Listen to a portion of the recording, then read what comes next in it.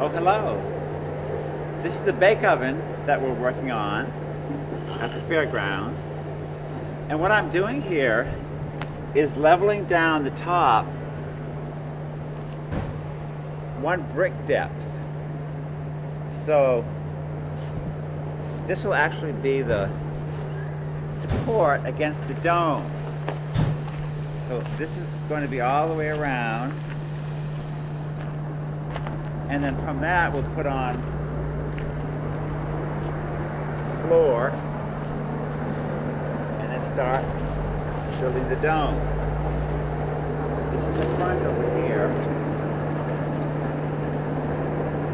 And the dome will go like that, right against these bricks. There'll be two more levels of brick high, and the dome will start from that. The chimney will come here in the back, right here. So we go straight up. Then over that, there'll be four posts, one in each corner, and then the roof will sit on that. Just be a peak roof.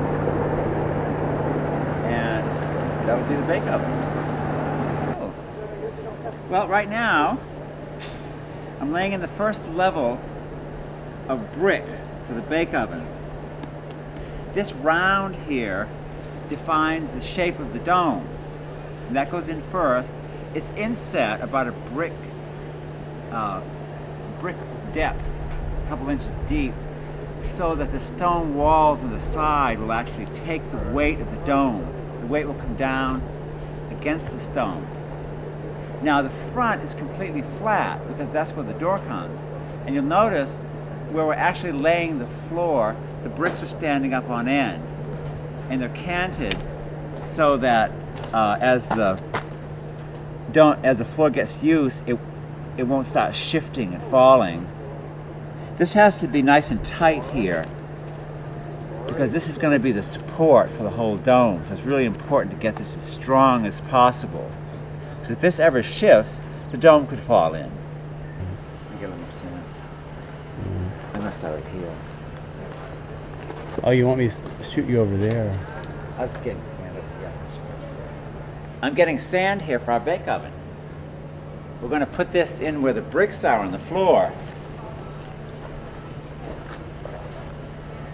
We need fine sand, and it fills all the little cracks.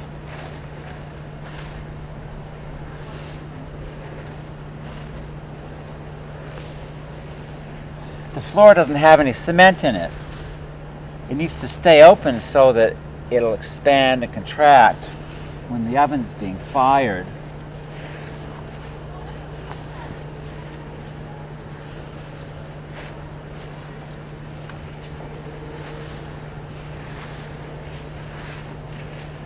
What are you doing here in front? Well, in front here, this is the bake oven door. And what I've been doing is laying out brick behind this oven door.